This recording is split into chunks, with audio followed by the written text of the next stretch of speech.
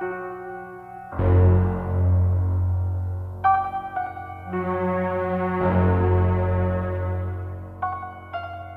enjoy scaring people a lot. I enjoy suspense and action and thrills. I enjoy comedy. I guess mainly the, the genres of films. Uh, I'm big on form and structure, and within a certain context, doing certain things. The film I'm making now, Halloween, uh, hopefully will be a, is a horror film, loaded with scares, suspense scares, not hopefully not grisly or or gory, but but suspenseful, making people on the edge of their seats. It was the 25th of October, 1978. There had never been a movie called Halloween before John Carpenter delivered his quintessential horror classic. In fact, there had never been a movie with Halloween in the title. On a budget of just over $300,000, the calendar based thriller would go on to earn $70 million worldwide, making it the most successful independent film of all time, an achievement that would stand for 21 years until the release of the Blair Witch Project. I'm so sorry. Of course, there were films before Halloween which featured a crazed killer on the loose, most notably Tobe Hooper's The Texas Chainsaw Massacre, which helped pioneer the image of a masked ghoul offing the supporting cast. There was also a little movie called Psycho in 1960, a milestone which hung over Halloween like a spectre. This is the story of how a little exploitation film changed the course of a genre, and how a gifted director on his second feature would become one of the most acclaimed artists of his generation. This is the story of The Shape.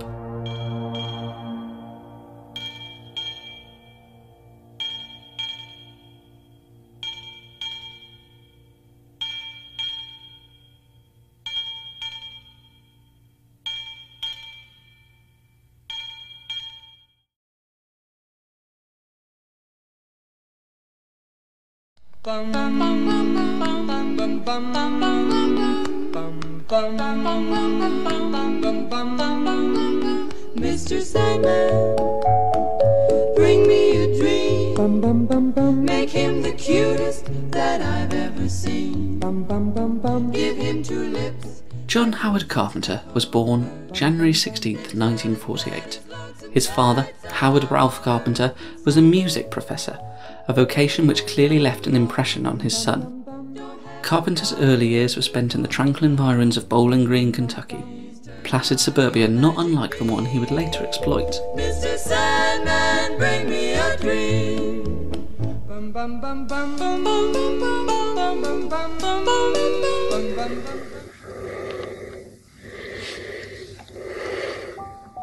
there was nothing happening in Bowling Green, and there was nothing going to happen there. I was going to either become a teacher like my dad my dad was a music teacher. I suppose I, I would have followed along in English or something like that. The only thing I really had that I loved was this rock and roll band I played in. My mom was a big movie fanatic and took me to everything. And uh, the little town I grew up in, there were two downtown theaters and there were two drive-ins. And I just went all the time. That's where I fell in love with cinema. John's passion for cinema was established early, and his preferred genres were westerns and horror films. He especially loved the work of Howard Hawks and John Ford, and 1951's The Thing from Another World left such an impression on the young carpenter that he would eventually remake it. This passion would lead him onto a course at USC Cinema School in California. Aside from giving him hands on experience in all aspects of filmmaking, USC also provided lectures from such titans as Orson Welles, John Ford, and Alfred Hitchcock. I applied to USC and UCLA. My dad was kind enough to give me money, and off I went. 1968. Roman Polanski came down with his film uh, Rosemary's Baby. We had uh, Antonioni. We did, it was unbelievable time to listen to these guys talk about movie making and then watch their films. I, I can't tell you what that was like. In 1969, the year of the Manson family murders, Carpenter would direct his first short film, The Eight Minute Captain Voyeur. The short, which was rediscovered in the USC vault in 2011, would bear striking similarities to his later work. It followed a bored office drone who takes a fancy to one of his female co workers and stalks her home. The man then dons a mask and intends to kill her, only to be shot by his resourceful target.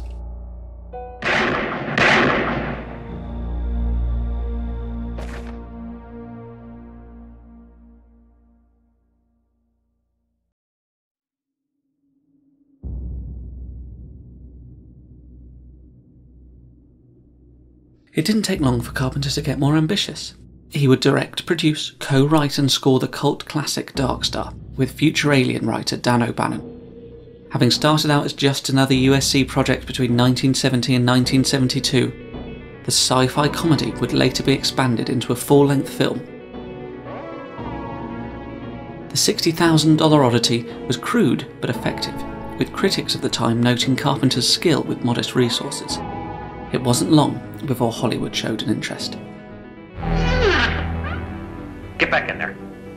Come on. Come on. Come on. Carpenter got to make what he considers his first true feature in 1976, when he was approached by producer J. Stein Kaplan to make a low budget exploitation film. Carpenter's only demand was that he receive complete creative control. A white hot night of hate. Assault on Precinct 13. The film, originally titled The Anderson Alamo, would take its cues from Howard Hawks' Rio Bravo and focused on a police precinct being besieged by a ruthless street gang. This is a siege. It's a goddamn siege.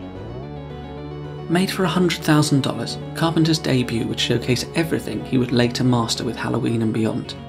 Keen focus on suspense, macho anti heroes, fiercely independent women, a synthesized soundtrack, and hard hitting violence. Assault pushed the limits of its Panavision framing to breaking point. We're always waiting for a murderous gang member to leap out of the shadows.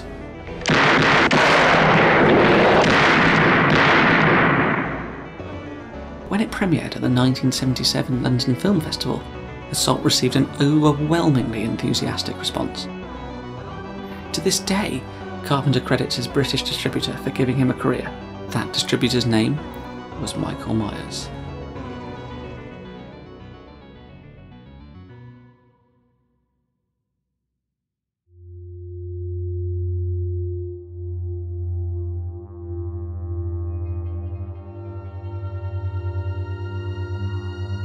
Nineteen seventy eight was a significant year for the rising director. Halloween would make him a household name, but nestled between his masterpiece and a three hour television movie about Elvis, Carpenter filmed Someone's Watching Me for the NBC network. Often called his forgotten film, the high rise set thriller could almost be considered a dry run for Halloween, and interestingly, even has remnants of his old USC short.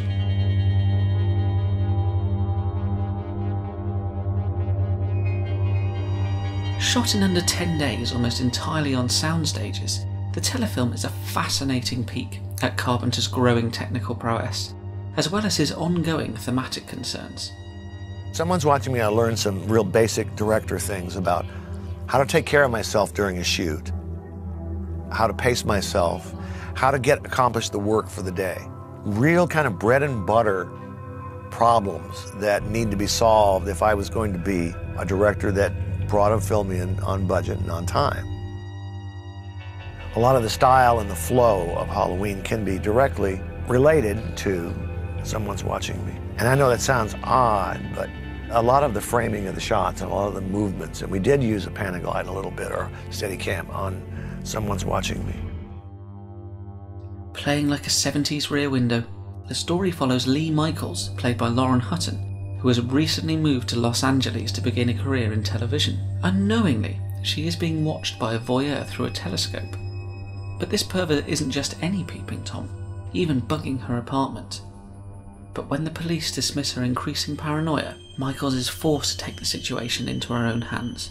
Despite the tight budget and an even tighter shooting schedule, Someone's Watching Me has all the hallmarks you would expect of a Carpenter production. Aside from Adrienne Barbeau and Charles Cyphers filling out the supporting cast, it has beautifully lit photography, effortless tracking shots, homages to Hitchcock, and even an emphasis on old fashioned and bloodless suspense. It all leads to a frantic conclusion in which the director gets to toy with that familiar image of a stranger leaping out of the shadows.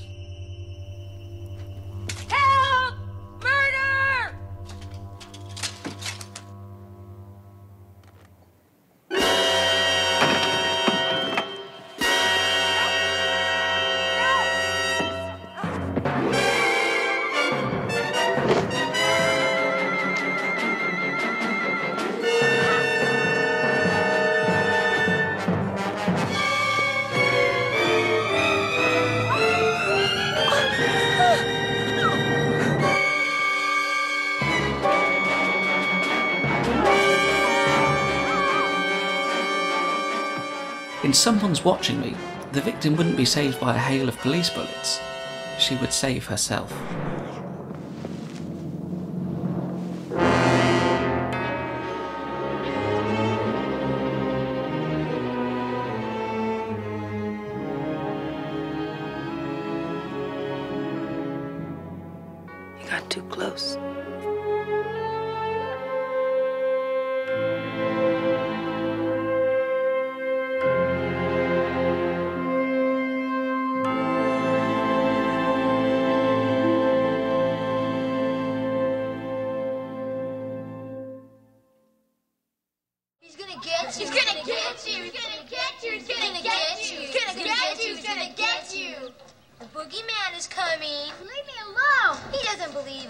Don't you know what happens on Halloween?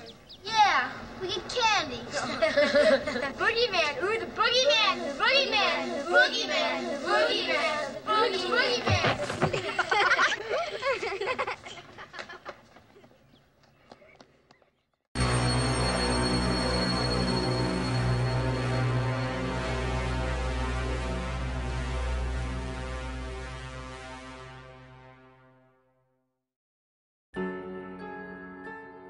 Halloween commenced production in the spring of 1978, a mere two weeks after its director had wrapped up Someone's Watching Me for NBC. On a bargain basement price of $300,000, Halloween was shot in a mere 20 days. Just 30 years old, the hungry director had no idea that his little B picture was about to change the course of his life and influence countless others. My job uh, in making Halloween was to do an exploitation horror film. And the basic premise was given to me by my distributor, Irwin Yablans. He said, uh, let's do a movie about these babysitters who get stalked by a killer.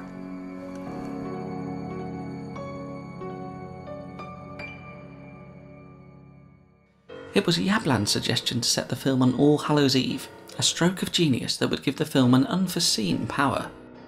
Never been used as a title before, never been used at all. It was an underutilized uh, holiday, so great. And I was a young director then. I was hungry for experience, hungry for features. I had done uh, some work before then. I said, sure, why not?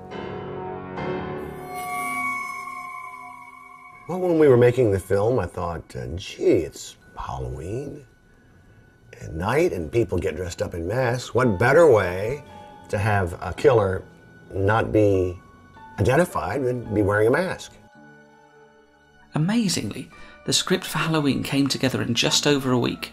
Acting as Carpenter's co writer and producer was then girlfriend Debra Hill, who had been the script supervisor for Assault on Precinct 13.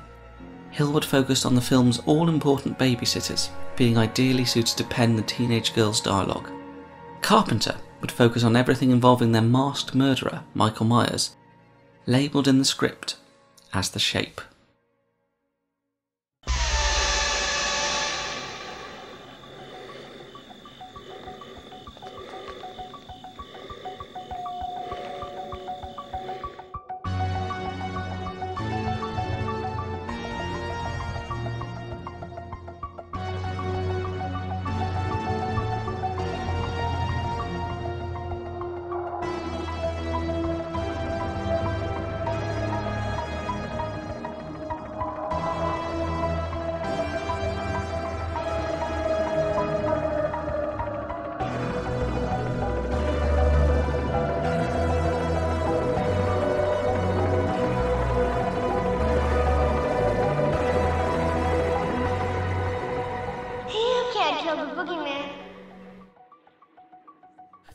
Nickname is supposedly a reference to the judges of the Salem witch trials, who referred to spirits and demons as shapes.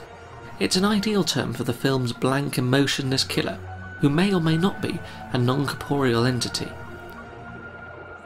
In 1963, at the age of six, Michael Audrey Myers kills his sister Judith on Halloween night, and for the next 15 years, he is hospitalized in a sanitarium. The boy is a catatonic. He exhibits comatose behavior. No reaction to external stimuli. I can see no reason why he shouldn't remain here. We have adequate facilities for his care. In 1978, he escapes, setting his sight on his hometown for a Halloween to remember. Come on now.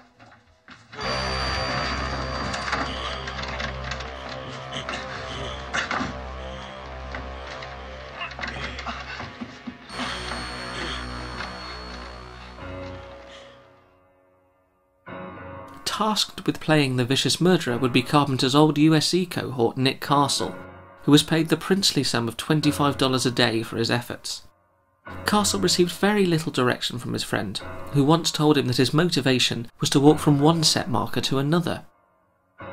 A rare exception is when Michael, having just stabbed an unlucky teenager to death, tilts his head from side to side as if admiring his grisly handiwork. The scene is a good example of how the director would resist graphic on screen gore in favour of carefully lit compositions.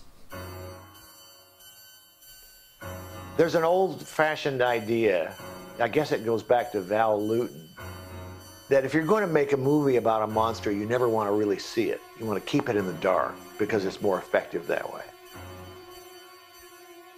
Carpenter often places him on the periphery of the frame, rarely going for a close up and wisely keeping him bathed in shadow. Decked out in overalls taken from an unlucky mechanic, Michael finishes off his ensemble with a stolen fright mask, in reality, a Star Trek Captain Kirk mask bought for less than $2. Production designer and editor Tommy Lee Wallace was responsible for the chilling visage. He painted it chalk white, teased out the hair, and widened the eye holes. Wallace would also don the costume for a few key moments, as with Debra Hill and stuntman Jim Winburn. In addition, a young Tony Moran would play an unmasked Myers in the closing scene. A total of six people were responsible for bringing Michael to life.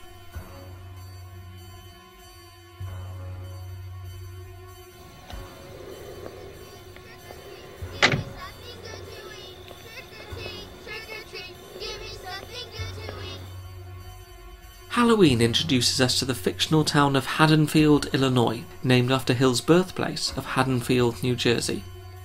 Though supposedly shot in the Midwest, Carpenter and his crew shot the film in South Pasadena, California. Much of the cast wore their own clothes, the crew struggled to find pumpkins in the spring, and the autumn leaves blowing through the town were reused over and over again. I, I, hate to pontificate. The more difficult genres to pull off are comedies and horror films because they require this timing. Dramas are the easiest. You usually have people talking to each other. And you can just shoot close-ups. Yeah. And horror, in cr creating a mood in horror films or creating the right mood in a comedy is, is hard. It's hard to do. You need a feeling for it. Charged with creating the film's startling visuals was cinematographer Dean Cundey, who would go on to shoot such classics as Back to the Future and Jurassic Park.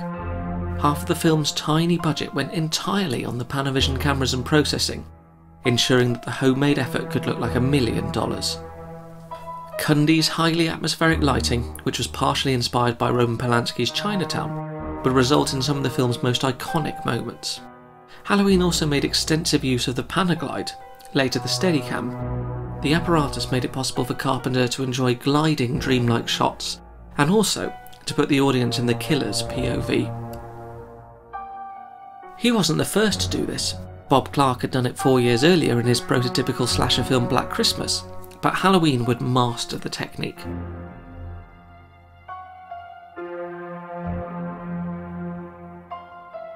Carpenter made the film on time and on budget.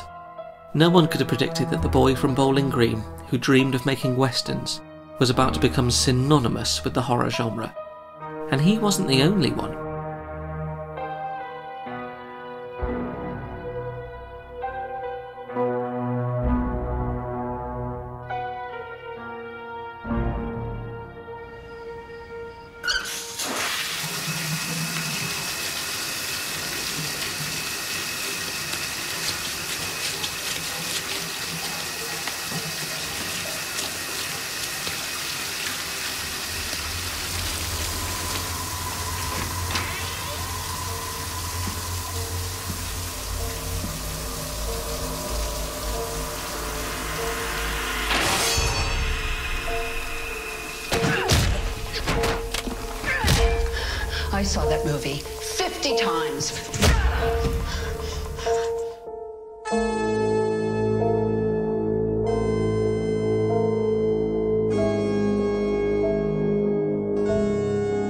Future Scream Queen Jamie Lee Curtis was a nobody when Halloween made her a star in 1978.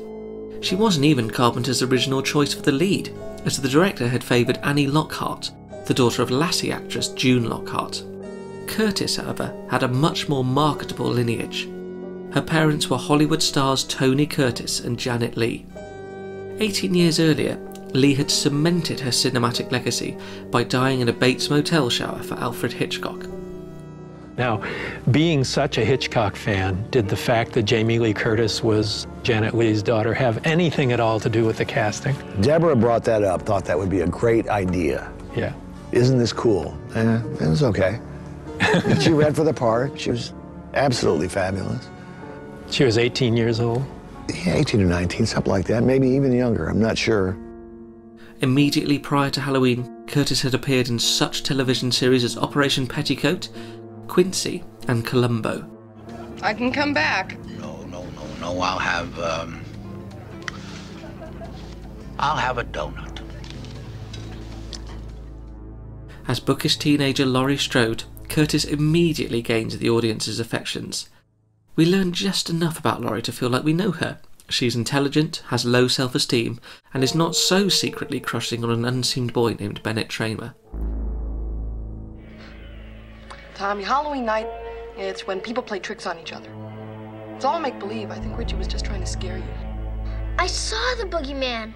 I saw him outside. There was nobody outside. There was. What did he look like? The boogeyman. We're not getting anywhere. All right. The boogeyman can only come out on Halloween night, right? Right. Well, I'm here tonight. I'm not about to let anything happen to you. Promise? Promise. There were no trailers. There was one Winnebago for every department. So makeup, hair, wardrobe, all in one little tiny mobile home. Um, you know, the caterer was a friend of John and Debra's, and, and they came and made lunch for us. That was the experience. I was my first movie, and obviously that was the really lovely part of it, was this very warm family feeling.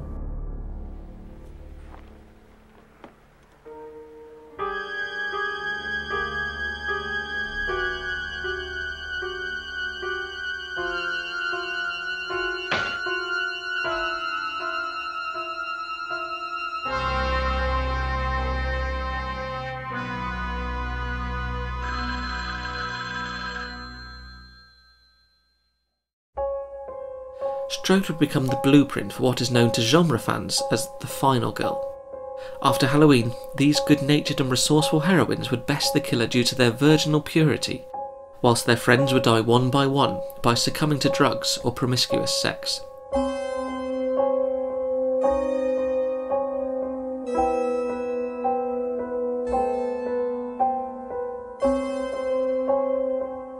Carpenter maintains that he never intended to make a moral judgment, only depicting teenagers as he and Debra Hill saw them. Nevertheless, the so called rules established by Halloween would be recycled over and over again.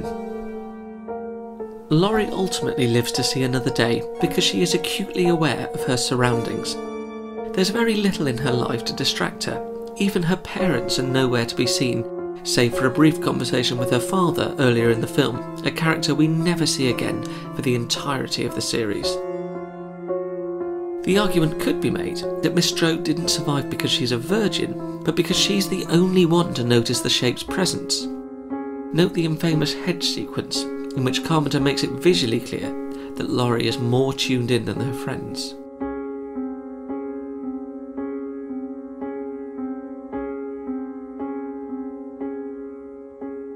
As you watch Halloween, your basic sympathies are always enlisted on the side of the woman, not with the killer. The movie develops its women characters as independent, intelligent, spunky, and interesting people. Halloween does not hate women. Famed film critic Roger Ebert, who would be instrumental in Halloween's success, dubbed imitators as the dead teenager genre. More often than not, the supporting characters would exist merely to die horribly. It didn't matter if a victim was memorable or even sympathetic, just so long as Tom Savini could throw an axe into their face. Halloween never falls into this trap, and makes Laurie's friends just as empathetic as Curtis herself, for the most part. So what is this big, big news? What would you say if I told you that you were going to the homecoming dance tomorrow night? I'd probably say I had the wrong number. Well, I just talked with Ben Tramer and he got real excited when I told him how attracted you were to him. Oh, Annie. Oh, you didn't. Please tell me you didn't. Do that. I mean, how could you just call him?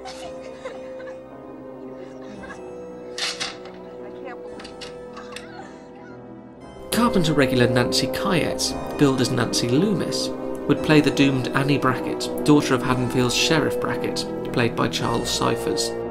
Both had appeared in Assault on Precinct 13, and like before, Loomis plays the most bratty, though sympathetic, character. Hi, Annie. Laurie. Hi, Dad. What happened? What? What happened? Oh, uh, somebody broke into the hardware store. Probably kids. You blame everything on kids. Well, now all they took was some Halloween mask, a rope, and a couple of knives. Who do you think it was? It's hard growing up with a cynical father. After Halloween, she would appear in Carpenter's The Fog and the unrelated Halloween 3 Season of the Witch, directed by her then husband, Tommy Lee Wallace.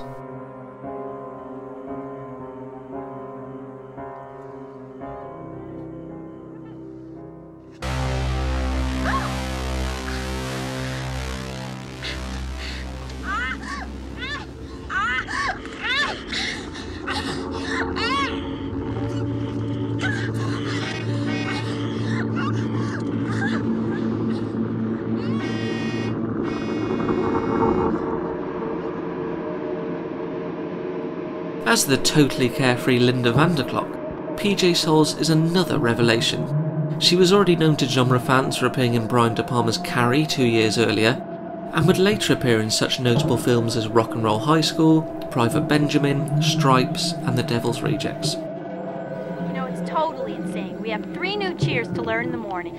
The game is in the afternoon. I have to get my hair done at 5, and the dance is at 8. I'll be totally wiped out. I don't think you have enough to do tomorrow. Totally. Originally, the part of her murdered boyfriend, Bob Sims, was to be played by Soles' then boyfriend, Dennis Quaid, but schedule conflicts resulted in John Michael Graham playing the part.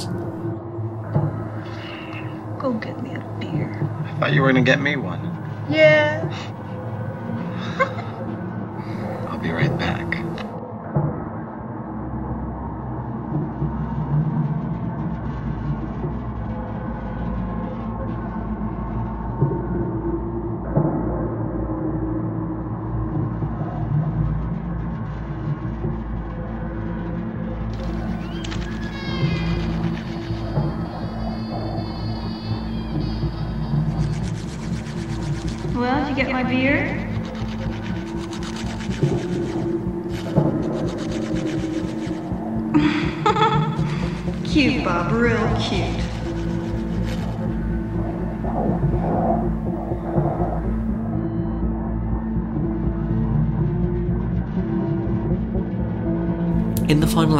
Laurie discovers the remains of her friends, she fulfills the final girl's purpose of fighting back against the bogeyman.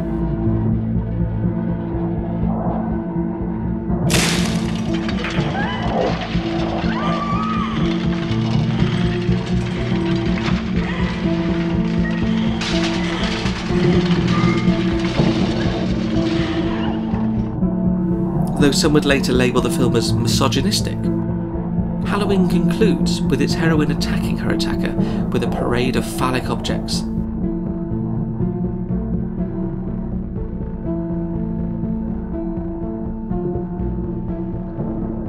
The shape, stabbed and bleeding on the floor, is supposedly vanquished. But when is it ever that easy?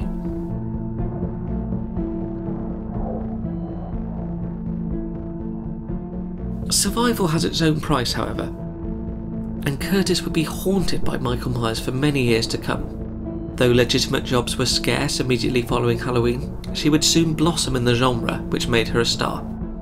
Between 1978 and 1981, she would make Halloween 2, Carpenter's The Fog, which also featured Janet Leigh, and the slasher knockoffs Prom Night and Terror Train.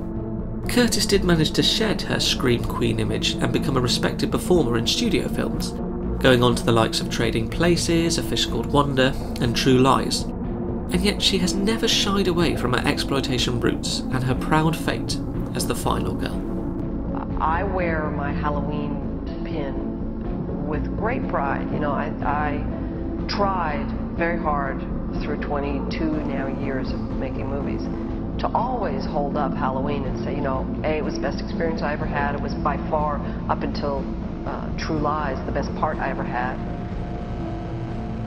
You know, I, I tried to point out the irony that in those exploitation movies, I was intelligent, uh, forthright, fought back against adversity, um, and was the lead in those movies for that role.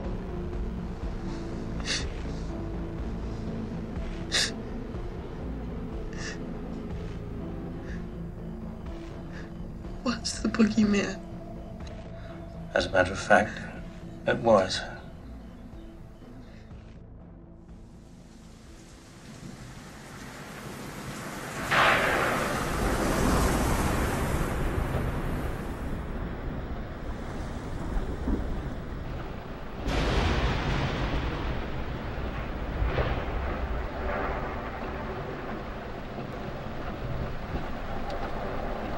You ever done anything like this before?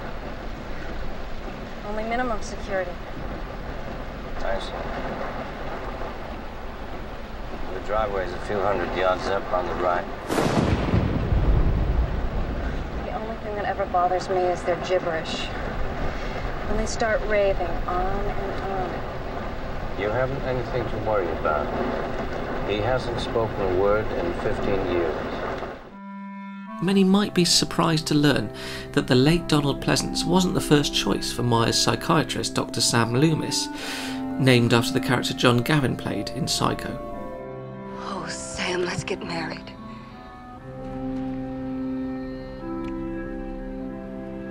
Yeah. Live with me in a storeroom behind a hardware store in Fairvale.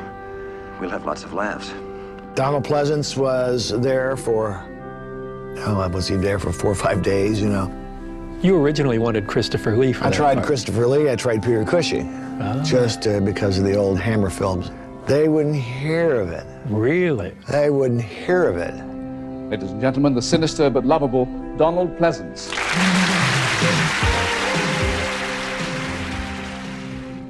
It was only when Irwin Yablans suggested Pleasence that the film bagged a name actor, and as a result, some credibility. Sheriff. Pardon me, I'm uh, Loomis, Dr. Sam Loomis. Lee Brackett. I- I'd like to have a word with you if I could. Well, maybe a few minutes. I've got to It take is important. Before Halloween, Americans probably knew him best as the most iconic of the Blofelds in the James Bond blockbuster, You Only Live Twice. But by 1978, Pleasence was already a respected thesp with many notable credits to his name. Thank you for getting me out.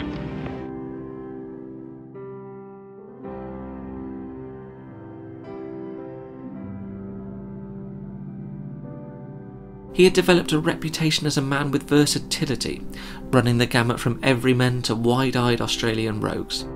You don't think the Yabba is the greatest little place on earth?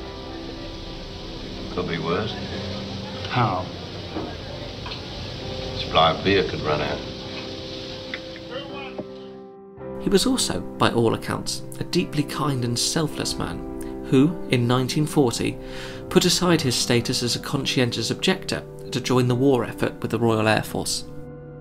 After being shot down in 1944, he would spend some time in a German prisoner of war camp, where it is said he escaped the horror of his situation by producing and acting in plays. Uh, I was shot down, jumped out, jumped out of the airplane.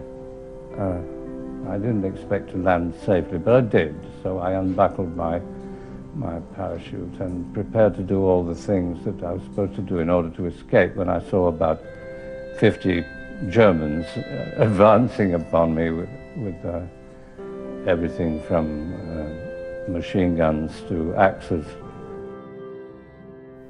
Perhaps it's this up close and personal confrontation with evil that underscores the Loomis character, and why Pleasence's delivery is so convincing, despite Carpenter's florid writing. Does anybody live here? Well, not since 1963 when it happened. Every kid in Haddonfield thinks this place is haunted. They may be right. Loomis's function in the plot is to fill us in on the bogeyman, who, by design, needs a Van Helsing to his Dracula. Though supposedly the hero, Loomis is often shown to be a nervous, easily agitated doctor whose ramblings of true evil paint him as an oddball to anyone polite enough to listen to him. I'm wasting my time. Sam Haddonfield is 150 miles away from here now. Now, for God's sakes, he can't drive a car. He was doing very well last night. Maybe someone around here gave him lessons. This is also a man who, at one point, scares children and then smiles about it. Hey? Hey, Lonnie, get your ass away from there.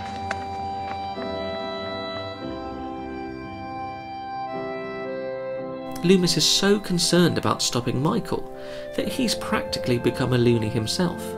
The Doctor's crusade is summed up best in the film's most famous monologue, delivered to Charles Cyphers' Sheriff Brackett, whose daughter would later be killed by Myers.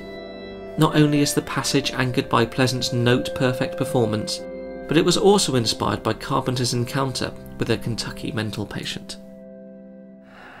I met this six year old child with this blank, pale, emotionless face and the blackest eyes, the devil's eyes. I spent eight years trying to reach him, and then another seven trying to keep him locked up because I realized that what was living behind that boy's eyes was purely and simply evil. What do we do? He's been here once tonight. I think he'll come back. I'm gonna wait for him. I still think I should notify the radio and television. No.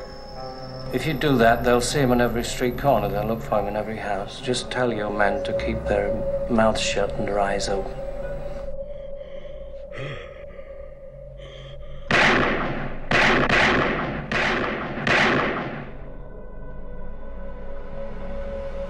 It is in the final scene, however, where the gifted actor makes his most valuable contribution. When we were shooting the sequence coming up, Donald Pleasence asked me, How do you want me to react when I look off the balcony? There are two ways. I can react, Oh my God, he's gone. Or I can react, I knew he would be gone. It was the first time an actor had ever given me a choice, and I was stunned by it, so I asked Donald to please play it both ways and let me decide later. See if you can figure out which choice I made as he looks down from the porch.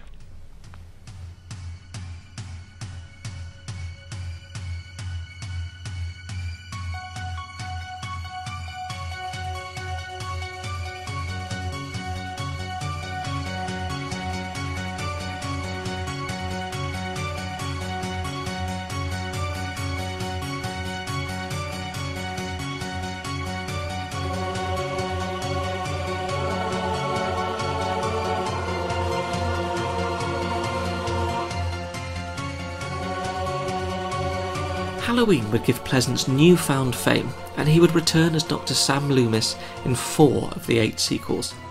1995's Halloween, The Curse of Michael Myers, was released mere months after his death and dedicated to his memory. Donald Pleasence was a very private man and rarely did interviews or discussed his work. But in 2018, his standing as a performer is as strong as it ever was. Carpenter agreed, later casting him in Escape from New York and Prince of Darkness.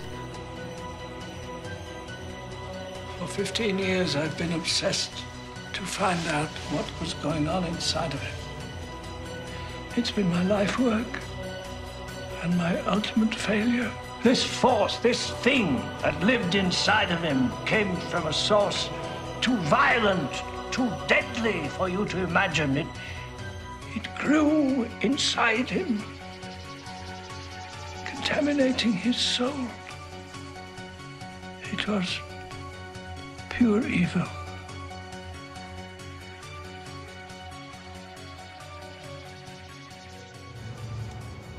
Donald was uh, an actor that I truly loved and really wanted to work with. Um, I, I admired his work throughout his career, and uh, he, I was a little scared of him. Uh, but we became fast friends on Halloween, and, and we made other films together. He became a dear, dear friend of mine, and uh, he was a wonderful human being. He, I don't think he ever got the recognition that is due him uh, from, uh, I don't know, the world at large. Perhaps he did. I never felt it. he was rated as that good an actor, but he was a fabulous actor and a close friend. I miss him very much. I still miss him.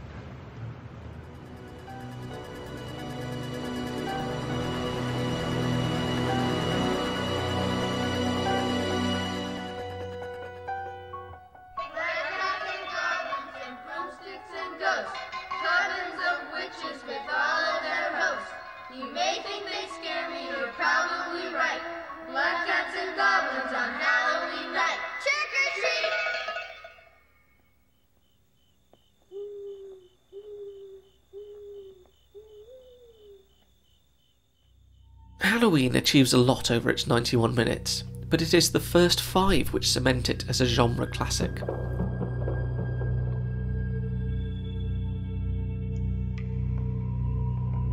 Allowing the audience to adopt a young Michael Myers' point of view, the prologue not only pushed the capabilities of the Panaglide to its limits, but it made viewers feel like unwitting voyeurs in the slaughter. This one long tracking shot was inspired by, of course, the tracking shot we all remember from Touch of Evil, the Orson Welles film. As I look at the movie, the primary influence on the style of the film was the work of Alfred Hitchcock. Hitchcock's moving camera would bring you without a cut from one environment to another, one room to another, one set to another. Shot over the final two days of principal photography, the sequence appears to be a single, unbroken shot, instantly announcing Halloween's intentions to make honest, artful cinema. The scene of the crime is the Myers residence, a spin on the old haunted house which Hitchcock had already transposed to a modern day setting for Norman Bates. And as we're tracking around this direction, the crew is inside flipping all the lights around in anticipation of us coming around back of the house and coming in the other way. There's an incredible noise going on inside.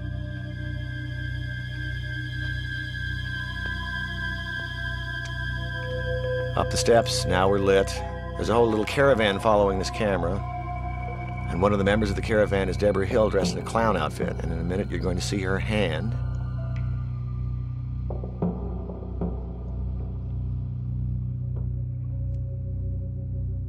The property, loaned to the filmmakers by a local church, was depicted in its decrepit, run-down state for the majority of the filming, only to be given a thorough spit and polish by the cast and crew for its 1963 counterpart.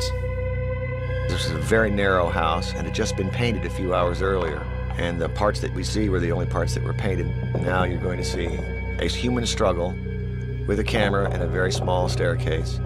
We're trying to hold the light up on the left in frame because the foreground is going out of focus. Now up we come, jiggling and bouncing. Now the operator's almost made it. He's saved his own life. He's at the top of the stairs. He sees a mask. As this mask is put on the camera, there's Debra's hand again. We're going to make a cut. Now we're into another shot and another take. Given the opening's point of view, the slaying of a naked Judith Myers is easily the most graphic murder in the entire film, and even this is partially concealed by an optical effect to create the holes in Michael's mask.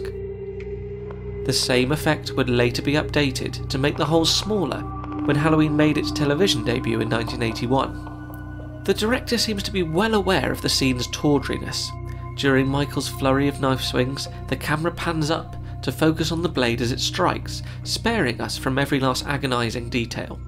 The final gut punch is the reveal that this murder has been committed by a six year old boy, a reversal in perspective which never seems to lose its unsettling power. Michael?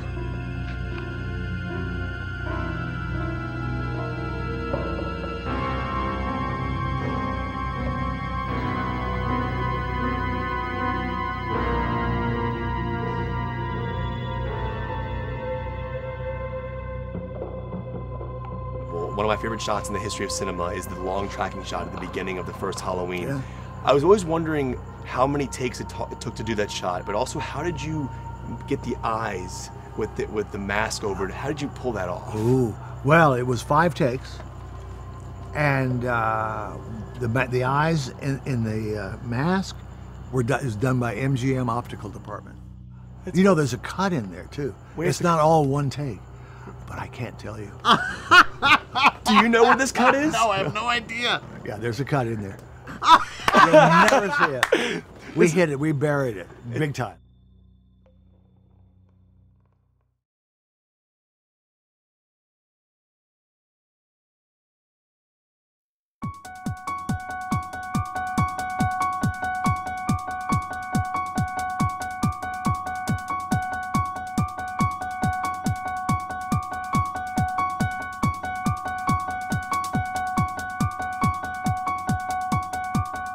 It has often been said that a good score is paramount to a horror film's success, and Carpenter's soundtrack for Halloween remains one of the most lauded and instantly recognisable in slasher cinema.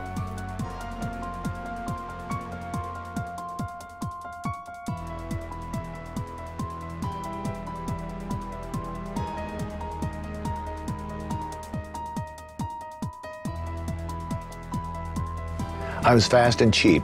I was the only one. You, you, when a low budget movie, you never can afford music, especially in the level I was working. So I would, could provide a carpet of music to uh, enhance the image. I mean, that was it. Carpenter bills himself as the Bowling Green Orchestra in the end credits, and this is fitting, as the inspiration for Halloween's title track goes all the way back to his father's passion for music.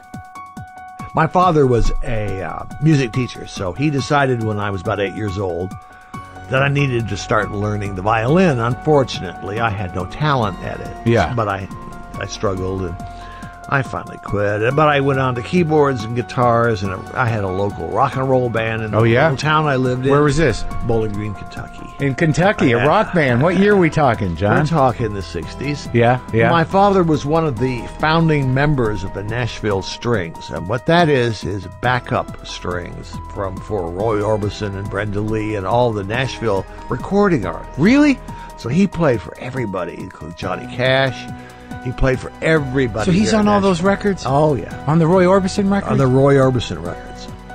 Carpenter's inspirations come from a myriad of sources, from classical to hard rock. The latter would be most apparent in Precinct 13, which had its roots in Led Zeppelin's Immigrant Song. He would also take his cues from the great Bernard Herrmann, Hitchcock's regular composer, and, naturally, the scorer of Psycho. Halloween's piano based score was completed in three days and dominates the film, although there are two songs on the soundtrack a piece by Carpenter's band The Coupe de Villes and Blue Oyster Cult's Don't Fear the Reaper, which plays as an ironic counterpoint to Michael stalking Laurie and Annie. Though lacking a symphonic complexity, Carpenter's threadbare carpet laying is impossible to forget and fits the images like a glove.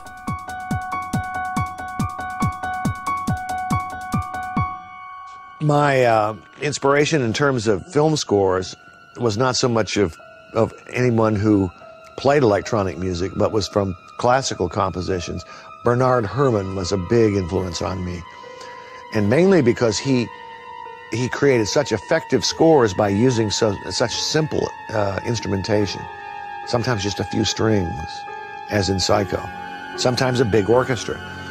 But uh, his his music was so powerful. So uh, I would go on a synthesizer and imitate uh, orchestral sounds, and always thinking of uh, of Bernard Herrmann. The director himself would describe his work as transformative, giving the film most of its atmosphere and suspense. Its widespread success also ensured that he would continue to provide the music for his films. Out of the 15 features he directed after Halloween, Carpenter scored all but four of them. In 2015, at the age of 67, Carpenter would become a curmudgeonly rock star when he signed with Sacred Bones Records to release Lost Themes and Lost Themes 2, albums comprised of unused material from his many years in the industry.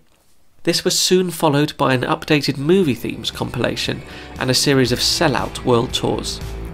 You can't help but feel that the music loving Howard Carpenter would have been very proud of his son.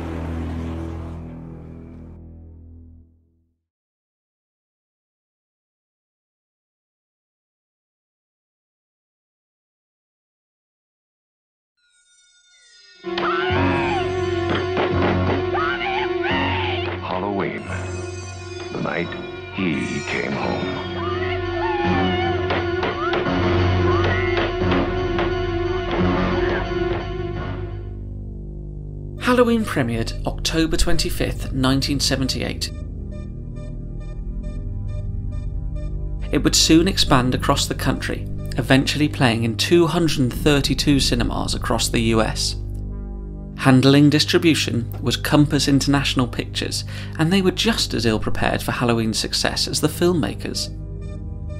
So Halloween was released, and and and you know everyone assumes that it really became this big, big success, which it became after a period of time, but it was not an immediate success. And I ended up after Halloween doing a Charlie's Angels episode, and I did a Love Boat episode with my mother. Initial reviews were decidedly horrible, resembling the critiques you might expect of a Halloween copycat. Two reviews, however, would change that. so uniformly awful reviews. The movie's not scary until it finally really uh, reached the East Coast. And the, there was a Village Voice review, and then that kind of turned things around. The second glowing recommendation came from Roger Ebert in the Chicago Sun-Times, who placed the film in his top 10 of 1978. Ticket sales began to skyrocket, and critics who had once dismissed it as schlocky trash were soon calling it masterful suspense. Word of mouth was just as strong, and audiences were quite literally screaming in the aisles.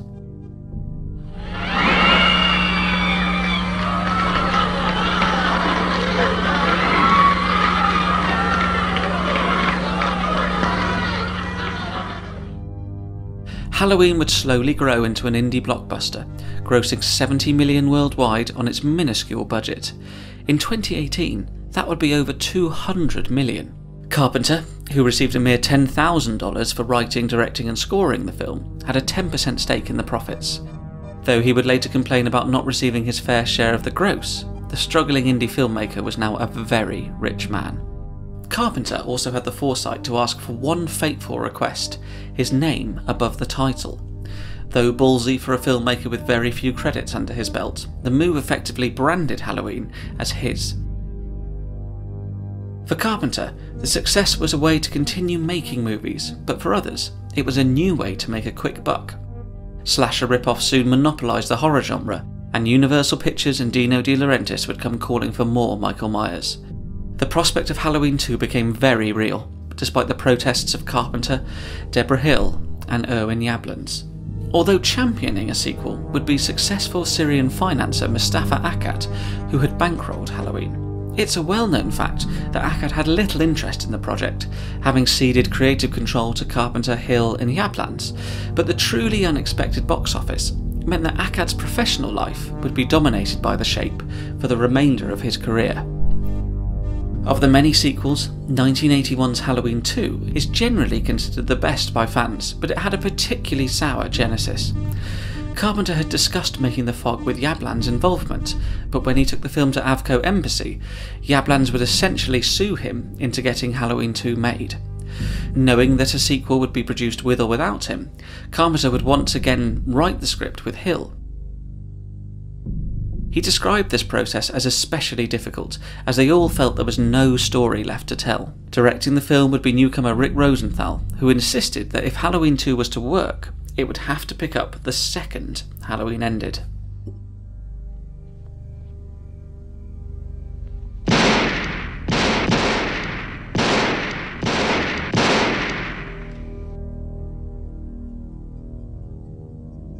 To make the transition complete, they would bring back Dean Cundey to photograph the slaughter, as well as Curtis, Pleasence, Cyphers, and, in an unexpected cameo, Nancy Loomis. Carpenter would once again compose the score, this time in collaboration with Alan Howarth, who would later co score several of the director's films. All of these elements make it a serviceable continuation, although the presence of graphic violence would push the series closer to the original's disreputable imitators.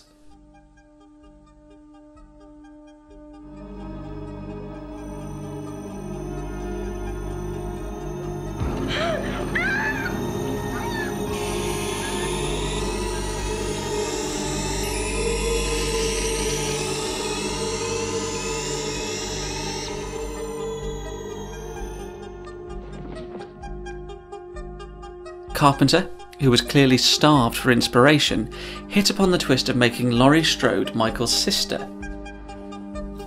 This would be perceived by some as a mistake, as it robs Myers of his randomness and now gives him an MO for his crimes. It also doesn't make much sense, as Laurie's real estate foster father told her to drop the keys off at the Myers house in the original film. Either he forgot her brother was a vicious murderer, or he has a sick sense of humour. That girl, that Strode girl, that's Michael Myers' sister. She was born two years before he was committed. Two years after, his parents died and she was adopted by the Strodes. They requested that the records be sealed in order to protect the family. Jesus, don't you see what he's doing here in Haddonfield? He killed one sister 15 years ago, now he's trying to kill the other. Halloween 2 would also effectively end the Myers plotline. The film concludes with Michael finding Laurie at Haddonfield Memorial Hospital, Dr. Loomis in tow. His psychiatrist, knowing there is no other way to stop the madness, promptly blows himself and the shape to smithereens. It is time, Michael.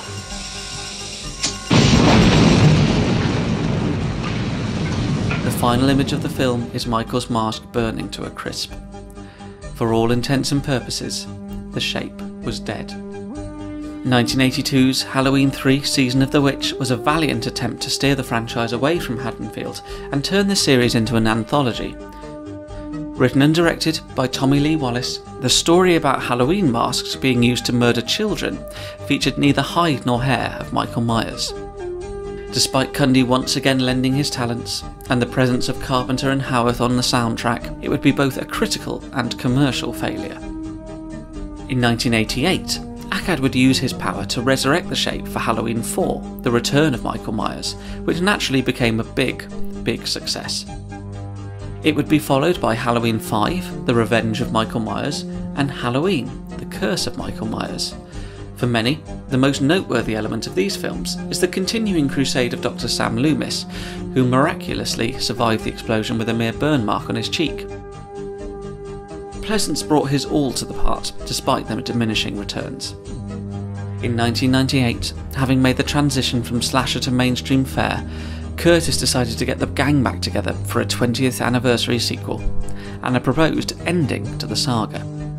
Her intent was to get Carpenter back in the director's chair with Hill producing, but when Akkad and Dimension Films balked at the $10 million salary demands, the job was given to Steve Miner. The resultant film, Halloween H20, 20 years later, would become one of the best reviewed entries in the series.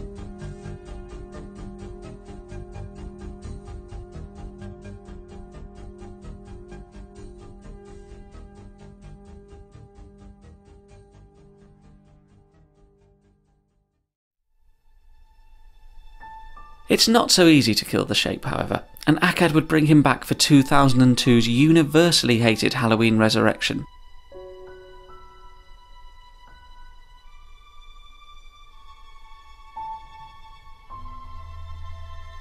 It would be his final entry in the series, as both he and Debra Hill died in 2005.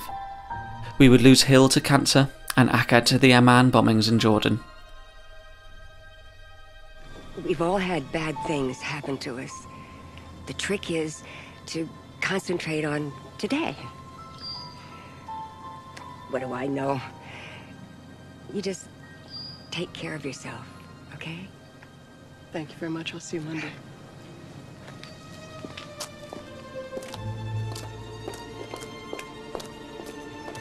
Oh, Miss Tate, uh, happy Halloween.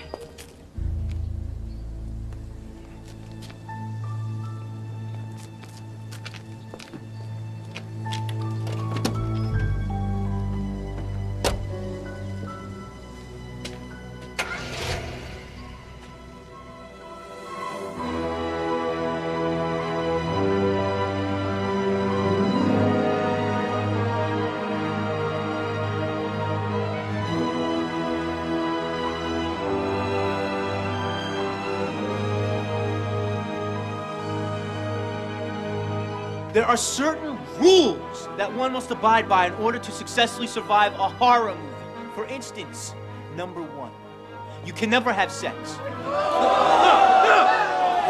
Big no-no! Big no!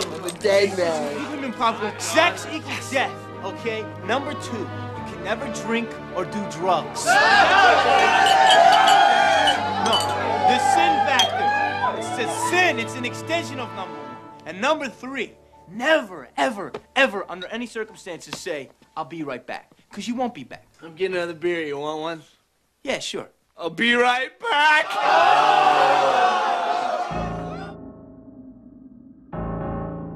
The release of Halloween would see its director soar to new heights, but its influence on the horror genre was just as seismic. Filmmakers emulated its formula by cranking out cheap and cheerful copies almost immediately. The 1980s were a mad dash to capitalise on what would soon be known as the slasher film. Between 1980 and 1990, somewhere in the region of 150 slasher flicks were given wide releases.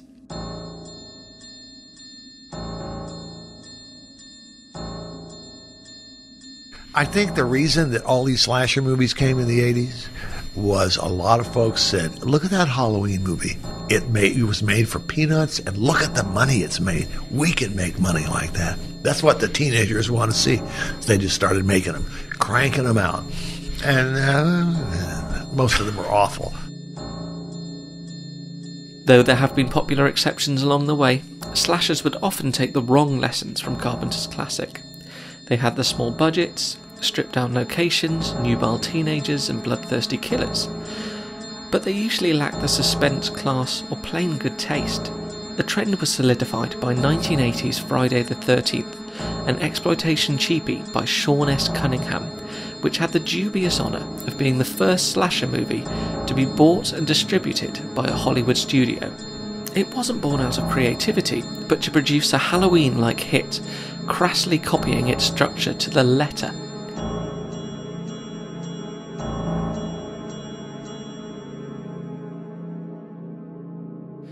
The blood and guts would soon become the most noteworthy element in a genre rapidly descending into sadism. Well, violence. Violence is an interesting topic. It's all that it's always been in movies. Violence was in movies in the very beginning. Back in the a picture called The uh, Great Train Robbery, which is a silent film. In the end of the movie, this cowboy takes, takes his gun and points it right at the audience and shoots. And the audience of the time, oh, God, just upset them. Um, I'm not familiar with a movie called The Wild Bunch. It was an extremely violent movie. Um, it depends on the story you're telling. I think that you have to be careful that you're not advocating violence. By that I mean you're not suggesting that violence is a way to solve problems. Um, violence should be the last possible um, should be the last possible thing that you try in a bad situation. However, you get into a movie, and, and let's say like Halloween, you have a, a killer who's out there, and you kind of have to deal with that area. I've made some violent movies, and um, it's fun. It's fun making violent films. It's a lot of fun to do it. I mean, actors seem to always want to die on the screen. They love it. Um, I think you have to be careful with audiences. Probably the most violent scene or the most disturbing scene I've ever done in a film was in a picture I made called Assault on Precinct 13. There's a little girl who gets shot with a silencer. And audiences were very, very upset at that. The horror film is kind of dying out as a popular genre because the action movie has stolen all of its techniques. If you look at a movie like uh, Die Hard 2, and the slitting of the throat and so forth, and knives going in, they're right out of horror films. As a matter of fact, the director is a horror movie director. So um, Terminator 2 is a, basically a horror film. All those techniques that we used to use in, in, in horror are now in the, in the big budget action film. The slasher film would soon die out, giving way to found footage and paranormal horror, but the shockwaves caused by Michael Myers are still being felt four decades later. Along with George Romero's Night of the Living Dead, Halloween can safely be called one of the most influential films in cinema history. But instead of questioning what Halloween gave to the horror genre, maybe we should be thankful for everything it gave John Carpenter.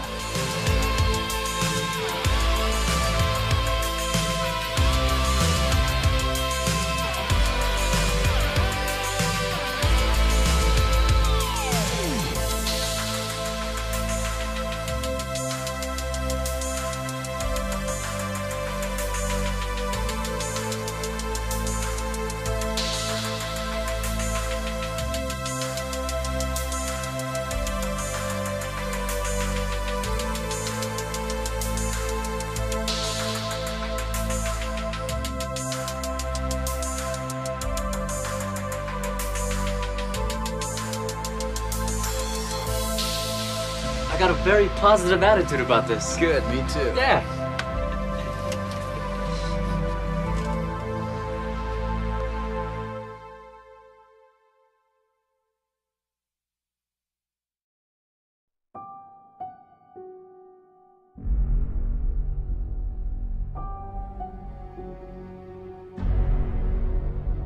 The last 20 years have been pretty rough for the shape.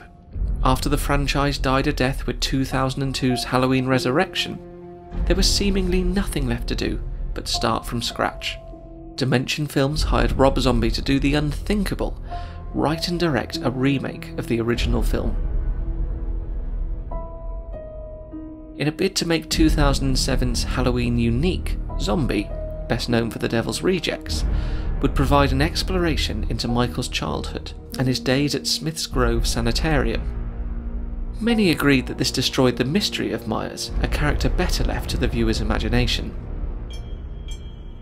First of all, big fan. Thank you for all your great films. Thank you. And my question is, how do you feel about the horror film remake trend in Hollywood that's going on right now? And also about your uh, Halloween movie that Rob Zombie remade.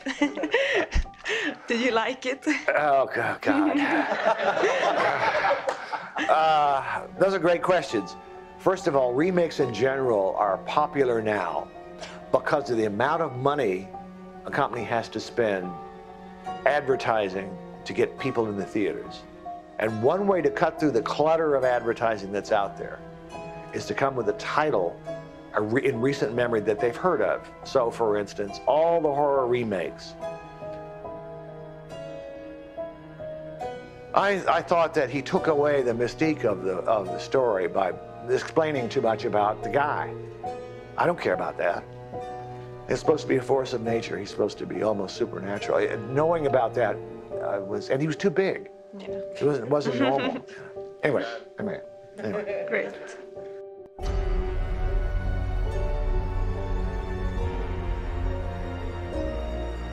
Zombies relaunch was a box office smash despite highly negative reviews, leading to 2009's Halloween 2, which continued the blood splattered explanations of Michael's psychosis. With fans in revolt and revenues dwindling, you might have been correct to assume that the shape was finally toast. After a nine year hiatus, the longest gap in the franchise's history, successful horror producer Jason Blum decided to resurrect Myers for a true sequel to the original. Director David Gordon Green would collaborate with co writer Danny McBride to effectively swipe the slate clean, making a direct follow up to the 1978 classic and wiping every other film out of continuity.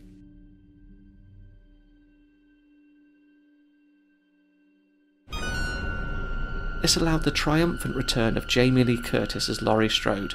Having dealt with the trauma of losing her friends 40 years ago, the final girl has matured into a hardened, shotgun wielding grandmother, all too ready for Michael's return. Her warnings of the bogeyman also make Curtis the Dr. Loomis of this particular story, and, fatefully, she is now the same age Donald Pleasence was in the original. Even more unexpected was the return of John Carpenter, who would shepherd the project as an executive producer. Not only that, but he would once again compose the score, this time with his son Cody and Daniel Davies, the son of Dave Davies. 2018's Halloween appears to be quite the 40th anniversary present for fans. Original shape Nick Castle will briefly reprise his role in a cameo, and the trailers reveal a film replete with references to the franchise's storied history.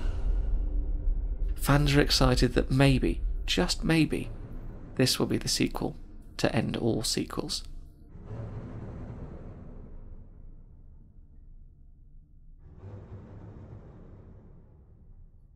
Happy Halloween, Michael.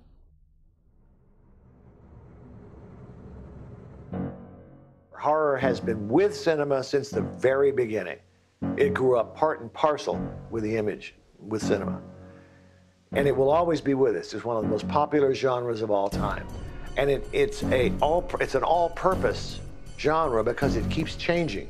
Every culture, every few years, it, it morphs, it changes into something else. It brings the sensibilities of the age in which it's made, which is, that's what's so fabulous. If you look at Frankenstein, or Dracula, or The Bride of Frankenstein, the, Karloff films that were made at this studio, they're very much of the 30s and the Depression. They're Depression era movies. They're speaking to those audiences. But if you look at modern horror films, they're speaking to you guys. But I've made a career out of it. I've got to become John Carpenter. What's wrong with that?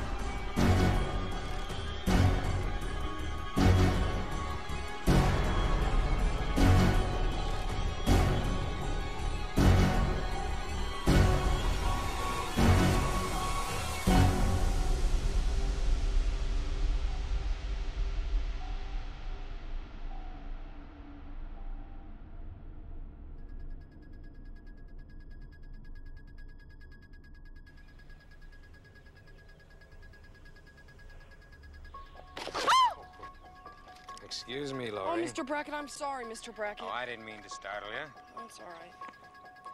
You know, it's Halloween. I guess everyone's entitled to one good scare, huh?